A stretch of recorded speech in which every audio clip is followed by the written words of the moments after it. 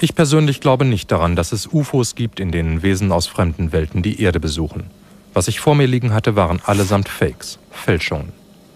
In die Luft geworfene Radkappen, ein Kinderball, Taschenlampen in der Nacht oder ans Fenster geklebte Papierschnipsel. Aber ich träumte davon, dass wir eines Tages vielleicht selbst welche bauen könnten. Echte. Mit einem Antrieb, der auf Knopfdruck die Erdanziehung ausschaltet, uns schwerelos macht und zu den Sternen fliegen lässt. Nur ein schöner Traum? Ich war da nicht mehr so sicher.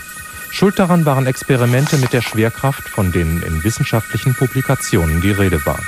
Und es hing alles zusammen mit dieser unscheinbaren Scheibe.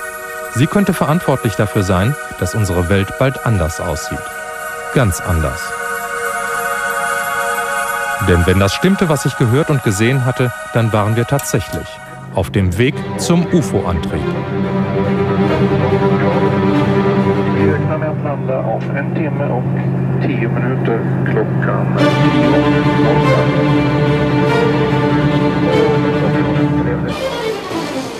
Ich war in Tampere in Finnland, auf dem Weg zu dem Mann, der als erster durch puren Zufall eine entscheidende Entdeckung gemacht hatte.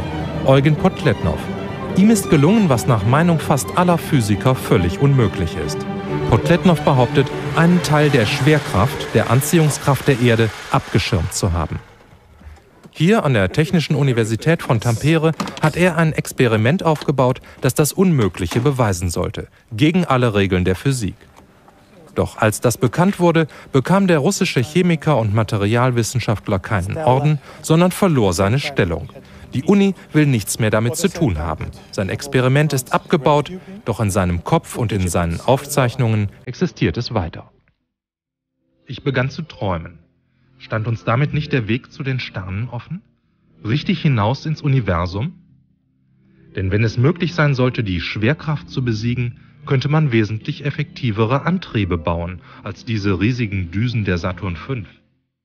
Zwar hatten es diese Düsen geschafft, Menschen auf den Mond zu bringen, aber tausende Tonnen Treibstoff, Millionen von PS waren nötig, nur um sich erst einmal von der Schwerkraft der Erde zu lösen.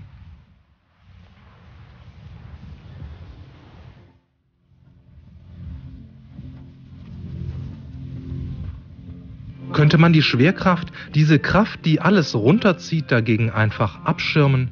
Ein Tipp mit dem Finger würde genügen, um uns nicht nur zum Mond, sondern überall hinzubringen.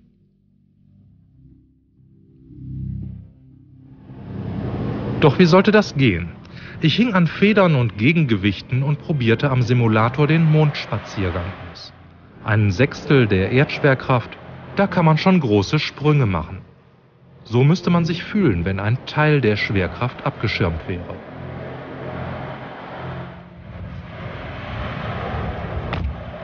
Ganz ohne Schwerkraft könnte die Bewegungsfreiheit grenzenlos sein.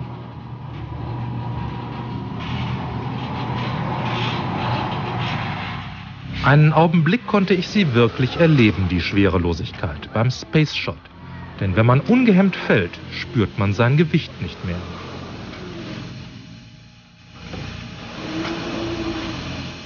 Fast wie im Weltall, wo die Astronauten die Schwerelosigkeit tatsächlich erleben.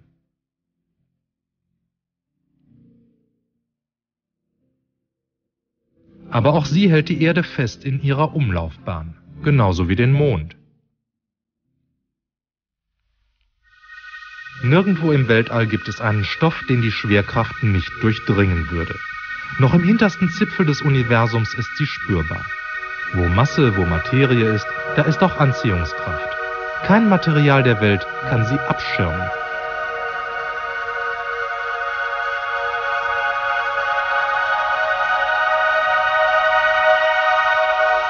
Das alles würde bis heute gelten, wenn es nicht diese Scheiben gäbe. Supraleitung, die, schon merkwürdig genug, elektrischem Strom keinerlei Widerstand entgegensetzen, aber magnetische Felder nicht durchlassen und auf ihnen schweben. Von solchen Scheiben kann die Schwerkraft abgeschirmt werden. Durch sie geht sie nicht ungehindert hindurch. Wenn man es richtig anstellt, wird alles, was sich über ihnen befindet, so hatte mir Podkletnov erzählt, leichter. Und zumindest auf dem Papier zeigt er mir, wie er das gemacht hat. Alles war eingebaut in ein großes Stahlgefäß mit etwa einem Meter Durchmesser. und gefüllt mit flüssigem Helium, um es herunterzukühlen. Das Herzstück der Apparatur eine große supraleitende Scheibe. Über Elektromagneten ließ Potletnov sie schweben. Dies war die Voraussetzung für die Messungen, die er eigentlich machen wollte.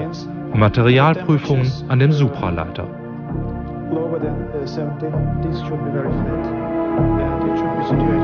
Also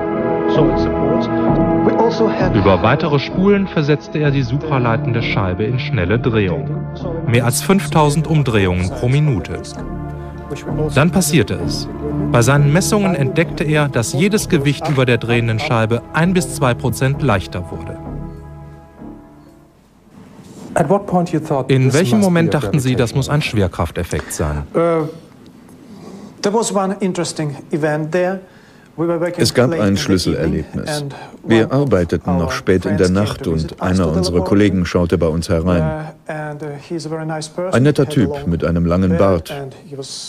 Und er rauchte eine Pfeife. Er sagte Hallo Leute und blies den Pfeifenrauch über unsere Geräte. Uh, Und dabei haben wir festgestellt, der Rauch kam zu unserem Gerät, traf auf eine ungewöhnliche, unsichtbare Barriere und stieg dann sofort hoch. Ich zeige das mal an der Zeichnung. Dies ist die Fläche über dem Supraleiter. Uh, Und wenn der Rauch von hier kam, dann stoppte er hier für eine gewisse Zeit, etwa eine Sekunde oder so, und ging dann hoch zur Decke.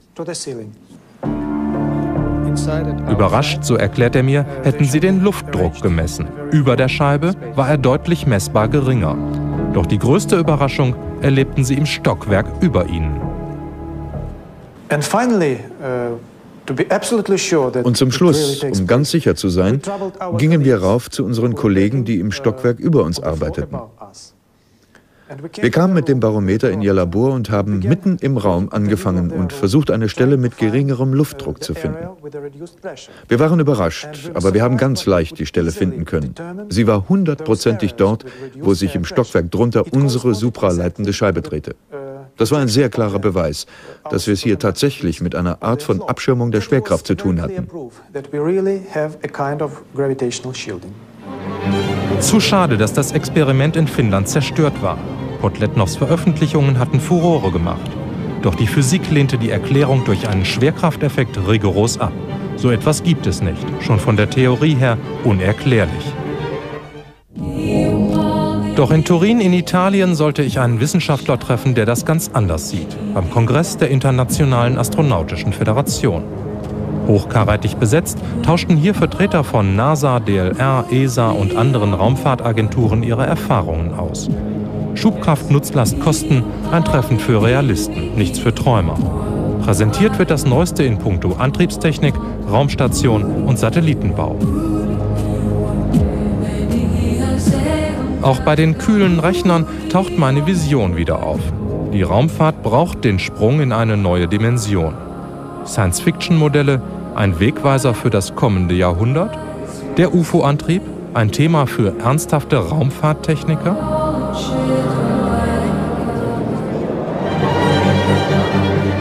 Durchaus, wenn auch nicht unter diesem Namen. Ich treffe hier Giovanni Modanese, einen jungen theoretischen Physiker aus Italien mit steiler Karriere. Er hält hier einen Vortrag in der Abteilung Das äußere Sonnensystem und darüber hinaus. Das Thema zum ersten Mal öffentlich vorgestellt, Potletnovs Experiment und seine quantentheoretische Erklärung. Modernese wagt sich weit vor. Im Widerspruch zu Einsteins berühmter Formel stehe das, was Potletnov beobachtet hat. Ganz besondere Bedingungen im Inneren des Supraleiters seien es, die die Schwerkraft, mal vereinfacht ausgedrückt, aufsaugen würden. Gewagt und äußerst karriereschädigend, wenn sich das als falsch herausstellen sollte. Aber Modernese vertraut Potletnov. So my conclusion is that he can be trusted. Ich bin zu dem Schluss gekommen, man kann ihm vertrauen. Weil der von Potletnov gemessene Effekt nicht gerade klein ist, kann es sich hier nicht um ein Mischmasch aus gewöhnlichen Messfehlern handeln. Der Effekt ist sogar recht groß. Ein Prozent, das ist vergleichsweise viel. Deshalb glaube ich nicht, dass er große Fehler gemacht haben kann. Wenn wir ihm vertrauen können, ihm als Person meine ich, dann ist der Effekt eine Tatsache. Then the effect is real. Und auch andere nehmen Potletnovs Ergebnisse ernst. Ich bin in Huntsville, Alabama in den USA, auf dem Weg zum Marshall Space Flight Center der NASA. Hier käme es gerade recht, Raumschiffe mit einem Anti-Schwerkraftantrieb auszustatten. Wie ich erfahren habe, war man hier dabei, das Experiment von Potletnov zu wiederholen. Wir wären dumm, sagte man mir, wenn wir das nicht versuchen würden. Ich treffe hier Whit Brantley, den Chef der Forschungsabteilung für besondere Projekte. Er ist seit den 60ern bei der NASA. Sein erster Auftrag war es damals, eine bemannte Mars-Mission zu planen. Heute, 30 Jahre später, machen ihm Podletnovs Experimente wieder neuen Mut. Uh, uh, das Beste wäre, wenn wir das schwere Feld um ein Raumschiff herum manipulieren könnten. Vorne ein starkes und hinten ein schwaches Feld, um mit jedem beliebigen Wert beschleunigen zu können, ohne tödliche Beschleunigungskräfte, die einen Menschen zermalmen würden. So könnten wir in kürzester Zeit hohe Geschwindigkeiten erreichen, ohne dass die Astronauten an der Hinterwand zerquetscht würden. Seit einem Jahr arbeitet die NASA daran. In diesem Labor soll Podkletnovs Experiment so genau wie möglich wiederholt werden. Stück für Stück arbeitet sich Projekt Delta G, was so viel heißt wie Manipulation der Schwerkraft, an dieses Ziel heran.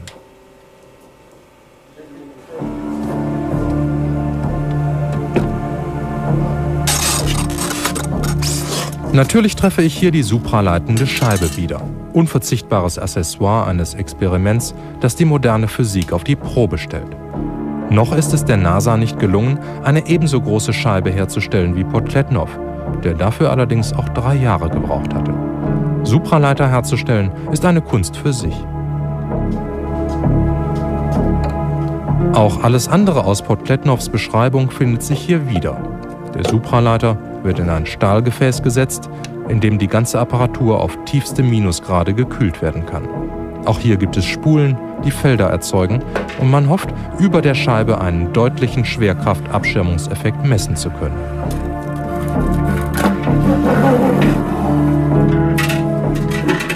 Projekt Delta G ist Teil des Breakthrough Propulsion Programms, ein Forschungsprogramm, das den Durchbruch in der Antriebstechnik schaffen soll. Man ist sich bewusst, dass dafür die Grenzen der bekannten Physik gesprengt werden müssen. Aber nur so, das weiß man, kann ein Raumflug zu den Sternen Wirklichkeit werden. Wie weit ist man bisher mit der Wiederholung von Podkletnovs Experiment gekommen? Ich frage den Chefingenieur Ron Koser. Uh, Bis jetzt konnten wir einige Vorversuche mit nicht drehenden Scheiben machen. Die Resultate, die wir gemessen haben, waren nicht so groß wie die, von denen Podkletnov berichtet. Aber das entmutigt uns keineswegs, denn wir haben auch nichts anderes erwartet, solange die Scheibe sich nicht dreht. Alle Experimente, von denen er berichtet, setzen voraus, dass die Scheibe sich mit hoher Geschwindigkeit drehen muss. All of his reported experiments involved the rotation of the disk at some high speed. So einfach ist das mit der Drehung nicht. Schon viele Scheiben sind hier zerbrochen. Auch die Messung ist schwierig. Kurze Zeit glaubte man schon, den Effekt gefunden zu haben. Aber als die Störsicherheit für das hochempfindliche Schwerkraftmessgerät verbessert wurde, war das Ergebnis wieder weg.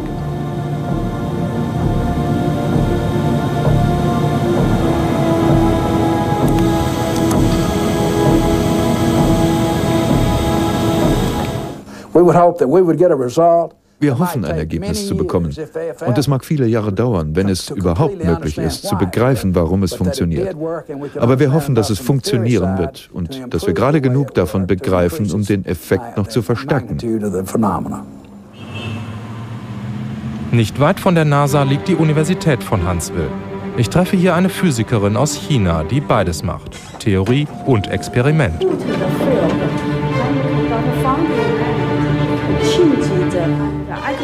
Sie arbeitet eng mit der NASA zusammen. Die Studenten rennen ihr die Tür ein, obwohl oder gerade weil auch sie sich weit vorwagt in der Physik. Okay, the, the anti-gravity is a prohibited word in the physics community. Anti-Schwerkraft ist ein verbotenes Wort in der physikalischen Gemeinde, denn die denken alle, wer damit herumspielt, der muss verrückt sein. Schwerkraft hat kein Gegenstück. Jede Masse ist positiv. Niemand hat bislang eine negative Masse entdeckt. Wenn wir also die Schwerkraft beeinflussen wollen, dann heißt es, wie soll das gehen?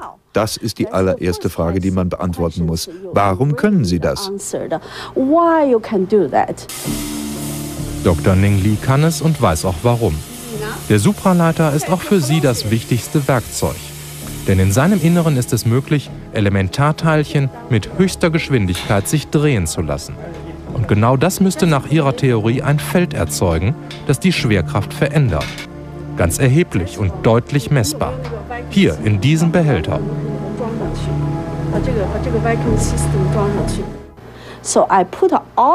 Also habe ich alle bekannten Messdaten in eine Formel gesetzt und gerechnet. Ich bekam fast die gleiche Größe dabei heraus wie die des gravitomagnetischen Feldes der ganzen Erde. Das hat mir Hoffnung gemacht. Wenn wir die Elementarteilchen dazu bringen, sich sehr, sehr schnell zu drehen, dann können wir Schwerkraft herstellen. Eine andere Art von Schwerkraft.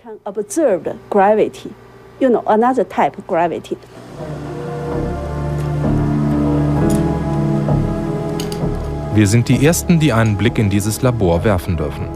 Aber schon nach fünf Minuten müssen wir wieder heraus. Die Testläufe finden nur hinter verschlossenen Türen statt.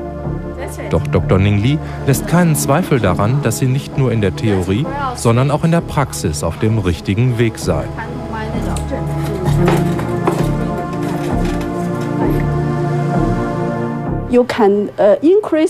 Man kann die Schwerkraft der Erde verstärken, man kann sie abschwächen, man kann sie in jede Richtung lenken.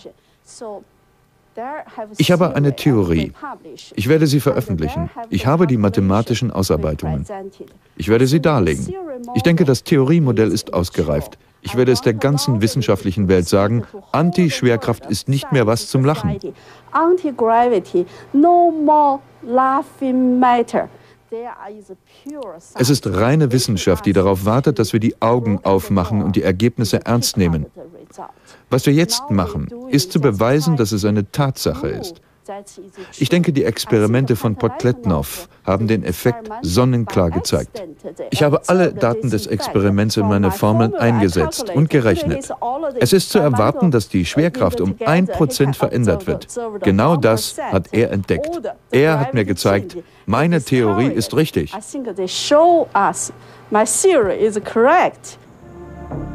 Was passiert hinter diesen blicksicheren Fenstern? Nach offizieller Verlautbarung der Universität gab es noch keinerlei Ergebnis. Trotzdem hatte ich das Gefühl, auf der Suche nach dem Schwerkrafteffekt noch nie so dicht dran gewesen zu sein wie hier.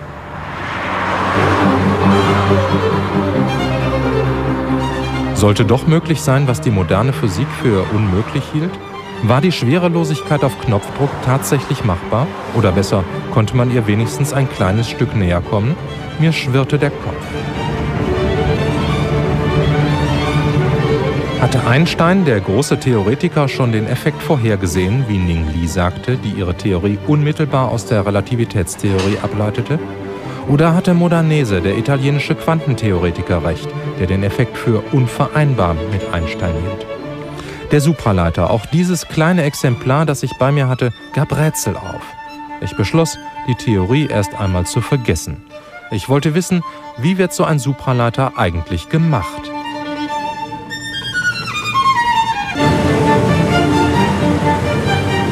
Ich bin in Columbus, Ohio, bei der Firma Superconductive Components.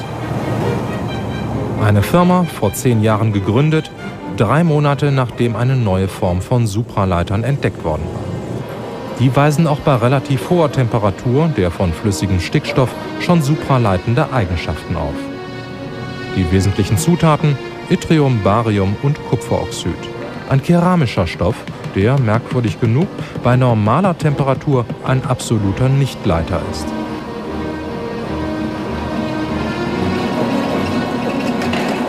In einem komplizierten Prozess, der Stunden, aber auch Jahre dauern kann, wie bei Potletnows Supraleiter, wird aus den pulverigen Zutaten in mehreren Durchgängen eine feste Scheibe gebrannt. Verkauft werden sie zum Beispiel als höchst effektive Stromzwischenspeicher für Kraftwerke. Und nicht zu vergessen ein paar hundert an die NASA zu Forschungszwecken.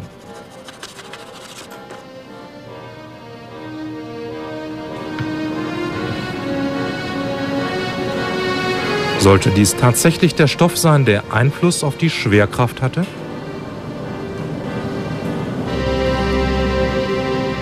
Wenn Potletnows Schwerkrafteffekt erst einmal hundertprozentig wiederholbar wäre, würden hier sicherlich bald Scheiben für alle möglichen Anwendungen hergestellt. Für die Forschung, für Transportmaschinen, für alles, was bei niedriger Schwerkraft besser geht.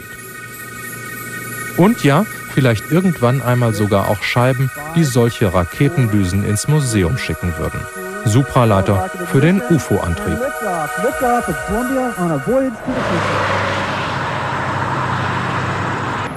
Ich bin in Yellow Springs, einem kleinen Städtchen in der Nähe von Columbus. Ein College, ein Motel, eine Kneipe. Aber gerade hier, so war mir versprochen worden, sollte ich ihn endlich zu sehen bekommen, den Effekt. Zeigen wollte ihn mir John Schnurrer. College-Lehrer, Erfinder, Wissenschaftler. In seinem Labor soll die Abschirmung der Schwerkraft Wirklichkeit werden. John Schnurrer ist für viele Überraschungen gut. Wenn es eine Muse gibt in der Wissenschaft, dann hat sie ihn geküsst. Ein enorm hitzebeständiges Material, besser als Asbest, aber dabei ungefährlich und billig. Ein lupenreiner Rubin ohne jede Einschlüsse, 115 Karat, made by John Schnurrer, von einem echten, so sagt er, nicht zu unterscheiden. Ein wissenschaftlicher Tausendsasser mit Interessen quer durch die Physik. Doch sein Labor ist äußerst bescheiden. Bei der Vermarktung seiner Erfindungen, sagt er von sich selbst, sei er ein absoluter Versager. Sein Herz gehört nun mal der reinen Wissenschaft, einschließlich der Aufhebung der Schwerkraft, die er grundlegend vereinfacht und zum Patent angemeldet hat. Scharlatan oder Genie? Ich bin gespannt. Auch Schnurrer will die Schwerkraft mit einem Supraleiter abschirmen, die schwarze Scheibe über den drei Magnetspulen. Eine drastisch vereinfachte Konstruktion. Seine Scheibe muss sich nicht drehen. Alles über der Scheibe will er leichter machen. Flüssiger Stickstoff, um den Supraleiter auf seine Arbeitstemperatur herunterzukühlen. Und eine simple Balkenwaage, um zu messen, wie stark der Abschirmungseffekt ist.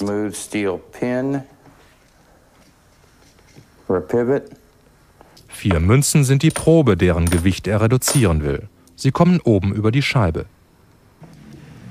Und dann taucht er alles zusammen in den Kühlbehälter.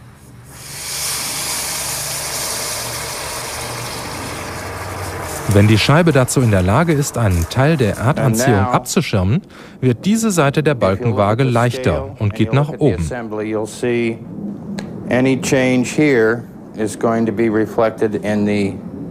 Die andere Seite der Balkenwaage, beschwert mit einem Gegengewicht, geht dann runter und die elektronische Briefwaage wird dann, wenn es funktioniert, mehr anzeigen. Eine halbe Stunde lässt er die Konstruktion abkühlen, bis sich alles beruhigt hat. Und dann geht es los. Bitte kommen Sie zur Waage, dann sehen Sie, mit welchem Wert wir starten. Ungefähr 23,15 Gramm. Noch ist die Waage ruhig. Der Effekt tritt ein, sobald John Schnurrer den Stromkreis zu den Spulen unter dem Supraleiter schließt. Jetzt erzeuge ich das Feld.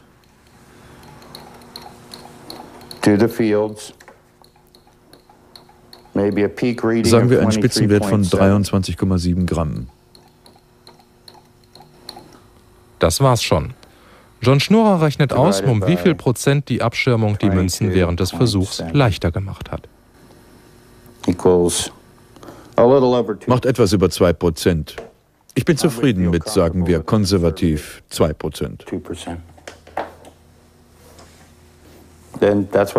So sieht's aus. Wie können Sie sicher sein? Ich meine, dass es sich um einen Schwerkrafteffekt handelt.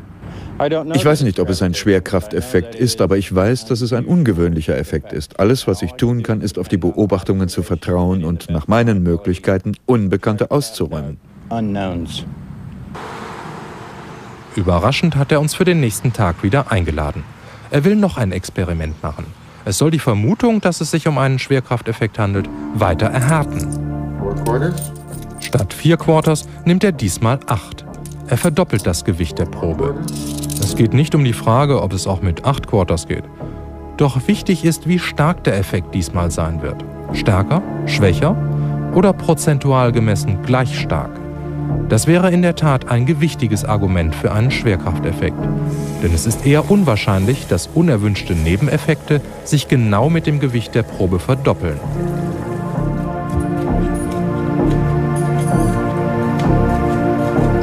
Ansonsten ist alles genauso wie gestern. John Schnurrer beginnt die Felder zu erzeugen. 44.9 43.7 equals 1.2. So 1.2 divided by 44.53 equals 2,6 Prozent. Es ist proportional zum Gewicht. Es wächst mit dem Gewicht, fast haargenau. Das war ein sehr guter Durchgang. Almost exactly, and that was a very good run.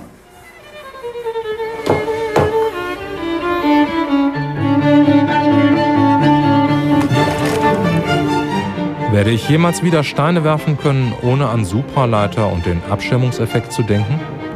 Natürlich wissen wir, wie ein Stein zu Boden fällt. Aber warum? Noch kennt niemand wirklich die Ursache der Schwerkraft.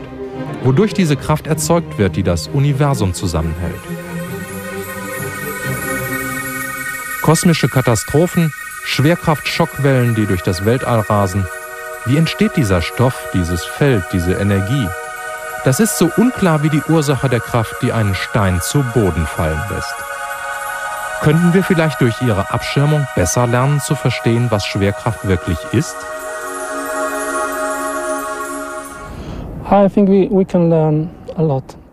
Ich denke, wir können eine Menge lernen. Ich persönlich, ich habe eine Menge gelernt für das Studium der Quantengravitation, den Versuch, die quantenmechanische Basis der Schwerkraft zu verstehen. Von jeder anderen Kraft in der Natur wissen wir, dass sie durch den Austausch von Teilchen entsteht. Wir haben ein grundlegendes quantenmechanisches Verständnis. Für die Schwerkraft fehlt das bislang. Deswegen glaube ich, dass wir jetzt viel besser verstehen werden, wie die Schwerkraft funktioniert. So I think we can understand much better how gravity works. Es zog mich noch einmal nach Finnland. Doch es war nicht die Theorie. Ich suchte Nahrung für meine UFO-Träume. Eugen Potletnov hatte Andeutungen gemacht von weiteren Versuchen im Geheimen, vielleicht in Moskau, und von Fluggeräten, die auf seinem Effekt basierten. Graviflights. Weil der Effekt auch die Luft über der Scheibe 2% leichter mache, könnte man den Luftdruck, der dann über der Scheibe niedriger sei als unter ihr, ausnutzen. Potletnov beschreibt den Auftrieb wie beim Flugzeugflügel. Die Luft drückt das Gefährt hoch. Doch das sei nur der erste Schritt. Der zweite Typ von Gravity Flights werden Fluggeräte sein, die Schwerkraftwellen zurück zur Erde reflektieren. Und unsere vorläufigen Experimente zeigen, dass das möglich ist. Doch der Reflexionswinkel ist begrenzt. Diese Fluggeräte werden viel kleiner sein und wesentlich schneller. Es wird möglich sein zu fliegen, wie im Science Fiction oder in UFOs. Aber nach allem, was wir jetzt wissen, ist das kein Märchen, sondern Wirklichkeit. Das wird die Transportmaschine für das 21. Jahrhundert.